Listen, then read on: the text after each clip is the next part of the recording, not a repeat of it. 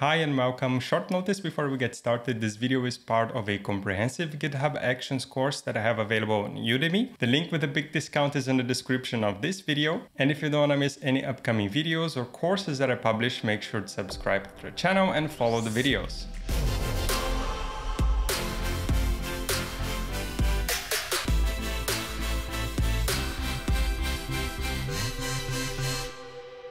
Far we have been running all our jobs and workflows in Ubuntu runners, but GitHub Actions offers different types of workflow runners, and that's what we're going to explore in this lecture. We can think of runners as simply virtual servers, so VMs that execute jobs from workflows. We can either use the GitHub hosted runners, and here I put standard between parentheses because there are both standard GitHub hosted runners as well as large GitHub hosted runners.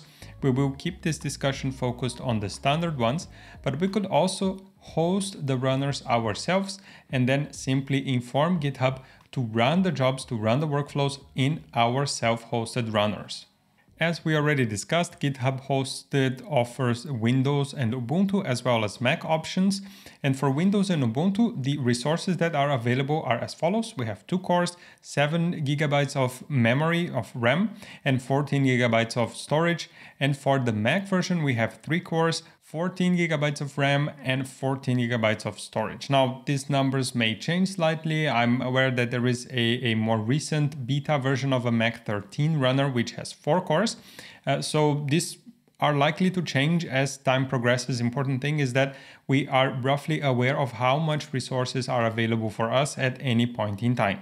If you want to know the exact numbers, then GitHub offers this information in its documentation. GitHub hosted runners are a managed service, and this means that we don't need to take care of security updates, patching, or anything like that. GitHub will take care of the infrastructure for us, and a VM is scoped to a job when we use GitHub hosted runner. So jobs or rather steps share the same VM, but the jobs don't. By default, each job receives a clean VM instance. And this is very important for us to know because if we have jobs that are dependent on each other, even though they are dependent, even though they are waiting for a completion of a previous job, when that specific job starts, it will start in a clean VM instance. Self-hosted runners, on the other hand, allow us to run workflows on pretty much any infrastructure of our choice. There are some limitations, and if you're interested, you can check the documentation from GitHub. It provides all the details there, but this is a little bit more complex, so we're, not going to enter into the details here now.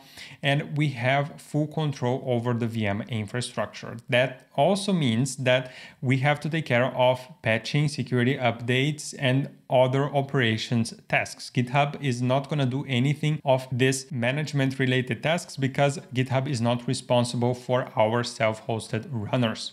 We can add self-hosted runners at the repository, at the organization, or at the enterprise level if you have GitHub Enterprise. And for self-hosted runners, jobs do not necessarily have to run on clean instances. That this would then mean that we can run jobs on runners that already have some data. And this kind of assumptions could possibly lead us to writing jobs differently than we would when we are using GitHub hosted runners. So a little tip here for you, always keep in mind the VM resources. It's very common here for example, if we are executing uh, unit tests that are passing on our machine, but suddenly we are running into some resource exhaustion, it's probably because our machine is, is more powerful than the resources that are available here. So while things are working fine in our machine, when we push this and we run tests on a CI/CD pipeline, then we end up stumbling upon the resource limitations of our GitHub hosted VM. And a little but very important warning, do not use self-hosted runners in public repositories. That's for a very simple reason that public repositories are more susceptible to attempts of attacks. And if you use self-hosted runners, then if there is any, any security breach, any security issue, then you could potentially expose your entire infrastructure and you definitely don't want to do that. So if you're working in public repositories, Stay away from self-hosted runners as much as possible and use the provided GitHub hosted runners.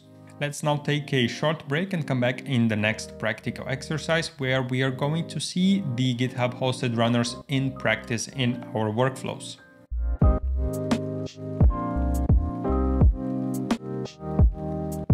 Let's now explore how we can use different runners in our workflows. We'll start by under here, the .github forward slash workflows folder. We're going to create a new YAML file. This is going to be called workflow runners .yaml. And then here we will have once again name. That's just going to be 03 workflow runners. And this is going to run to begin with on push. And now we will specify our jobs. The first job, we're going to call this Ubuntu runner, or rather Ubuntu Echo maybe, and this runs on Ubuntu latest. We're going to have a single step here, and this is going to be called show OS. This is going to execute a bash script it's going to be a multi-line script. That's why I'm putting this vertical bar here so that I can write a single bash script in multiple lines. This is YAML syntax and it's very good to know because fairly common to have multiple lines that we want to execute. So we're going to have echo. This job is running on an Ubuntu runner. And then for us to access the, the operating system where we are running this job, we can simply say runner OS. And here we can access the environment variable dollar sign runner OS, right? So in this runner OS variable here, it stores the environment where we are running, and this is gonna print Ubuntu. So let's now save this and let's start with this and let's see what this outputs in our GitHub workflows or GitHub actions page. Let's add it and we're gonna commit with whatever message you would like to include. Once this is committed, let's push this and then go switch to the GitHub actions page here in our GitHub Actions page, if you refresh the page and you have it open, right? So um, if you refresh it, you should be able to see now the new run here. It was triggered on push. And under the Actions tab here, we have our new workflow. And then it has all the runs. Once we click here and click on Ubuntu Echo and then Show OS, we will see that it's printing that the run operating system is Linux. Let's now try to do the same thing for Windows and I would like to show you a different way that we can edit this file instead of having to go back to the IDE.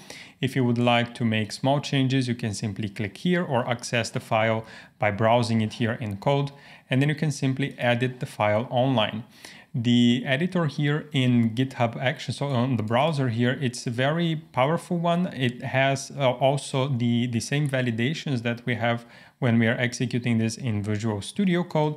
So if we were to write something incorrect here, let's just say Windows Echo, and you see that it already starts saying that it requires, the job requires either runs on or uses, right? So it has this validation. It's also very useful for us to use it in the browser.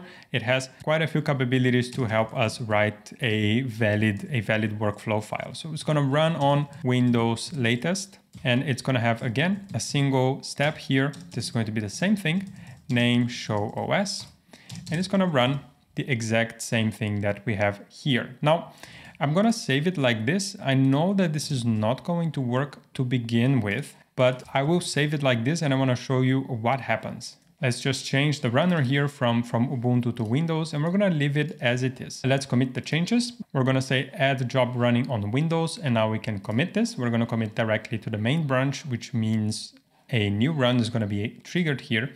And once we click here, we have these two jobs, Ubuntu Echo and Windows Echo. Once we click on Windows Echo, let's just wait a little bit. You see that we already have a requested label here, Windows latest. Let's just expand this again. So in the operating system, we have Microsoft Windows Server.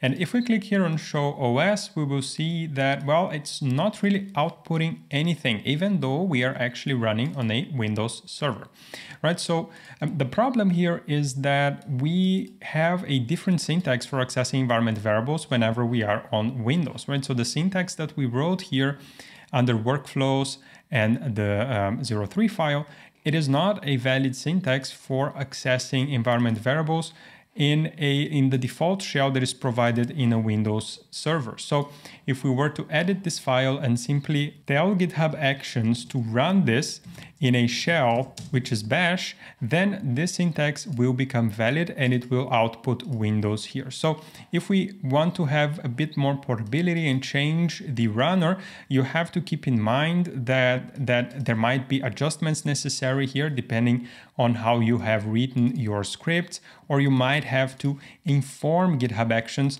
that it has to use a bash shell so that your scripts are executed successfully. Let's commit the changes here Once we commit the changes, then we should be able to see the new run here triggered and we should be able to actually see the output correctly on the screen. After the run is completed, you can click here and now you will see that it correctly outputs that the runner operating system is Windows.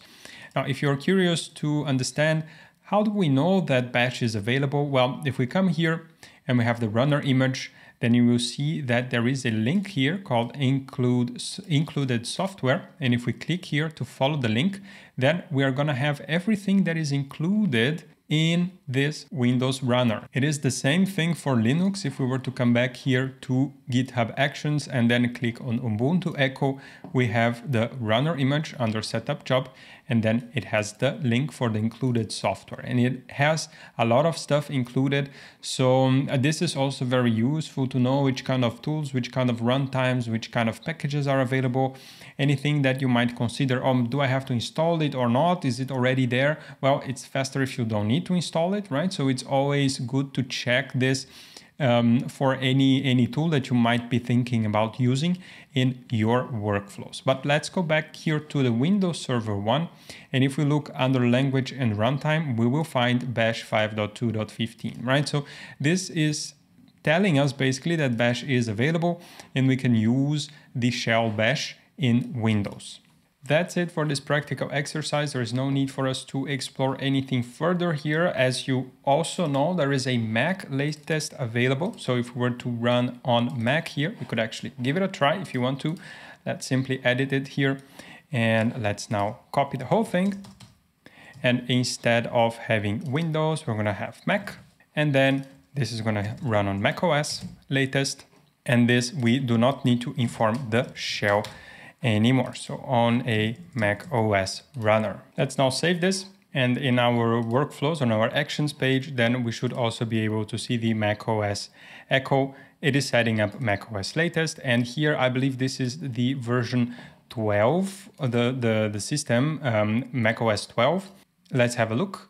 If we click here, then exactly that's what we get. So 12.7, just for you to keep in mind which operating system it's using. It's not always the latest version. And here we can also access it as, as we access in a, in a bash shell. We can access the environment variables with a dollar sign. But that's it for now. Let's come back to the workflow file here. We can click here to see the workflow file. Let's edit this. And instead of having on push, we're going to change this to workflow dispatch so that we don't trigger this workflow whenever we commit changes, rather whenever we push changes, right? So workflow runners, and once we commit the changes, we shouldn't see anything new here on the Actions tab. It should be everything clean. That's it for now. Let's take a short break and come back in the next lecture.